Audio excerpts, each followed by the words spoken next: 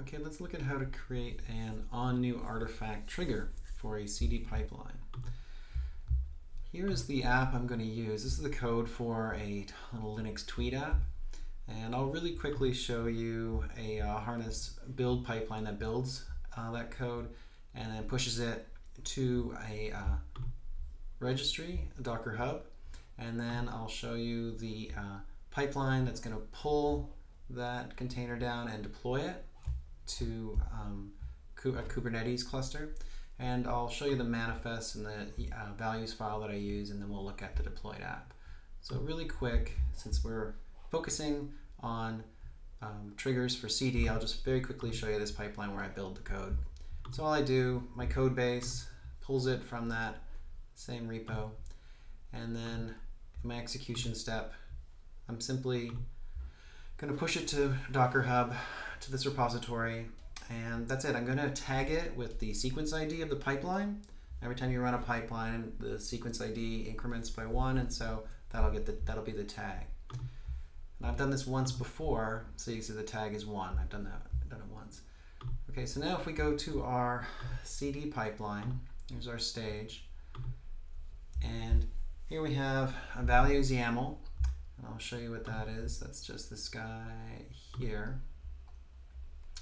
And let me just double check which one it is. It is ng values, thank you. Um, and so all it is is it's going to be um, getting a name from a stage variable, but it's going to be grabbing the artifact image from wherever we put it in our artifacts list here. So you use this expression artifact.image to pull it, the container from there. So it'll be grabbing this guy. If you hard code your artifacts into your manifest, then uh, you cannot use an on new artifact trigger. You have to have the artifact here. Okay, so that's, uh, yeah, I'm simply using that, that values file. The manifests are just in here, and they will be just using the values files, the values, the name, and so on, the artifact. So the infrastructure is just a Kubernetes cluster in the default namespace, and the execution step is just a rollout. So I've already done it once, and if I look over here in uh, my cluster, you can see one right here. Now if I go back and we want to create a trigger to do this. So we'll add new trigger and we'll choose artifact, we'll choose Docker registry, um, and I'll just call this tweet uh, trigger.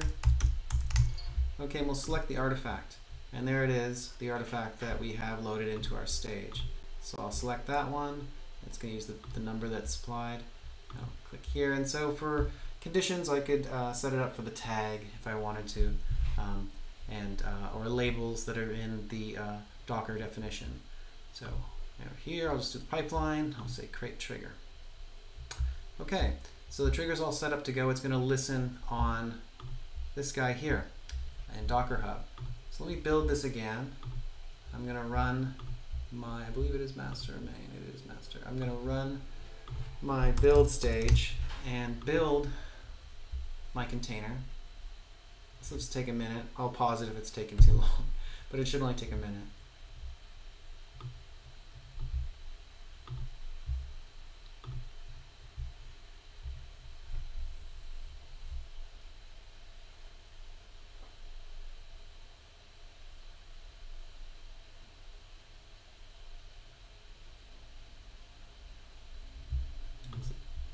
Here's the build and push using the Docker file that's in the root here. Very simple.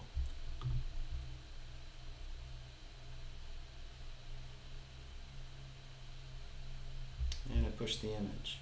So now if I go up here and I refresh, I should see a second one. There we go. So since our deploy pipeline is listening, our trigger is listening to this, if we go to execution history in this guy, he should start to execute. And he is. So um, let's look.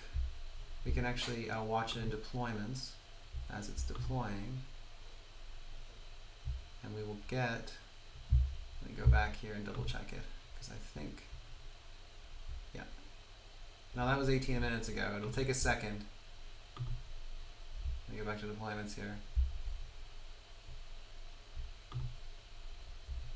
There we go. now it's running. So here it is running.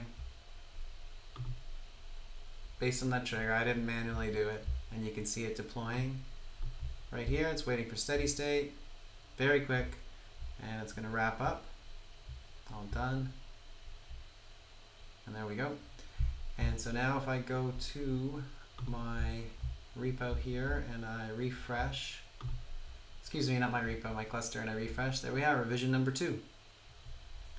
And that's all. So the uh, on new artifact trigger listened, and when the new artifact was built and pushed, um, it fired the uh, deploy pipeline and deployed it to our target cluster.